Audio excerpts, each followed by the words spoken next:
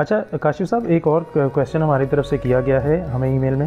जी जी। इंसान को अपनी ज़िंदगी में सबसे ज़्यादा क्या चीज़ अट्रैक्ट करती है?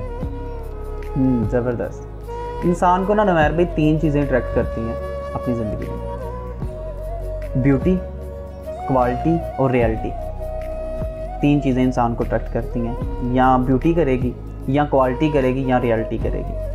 अब यहाँ पे सवाल ये कि इन ती, तीनों चीज़ों में से बेहतर कौन सी है अच्छी कौन सी है?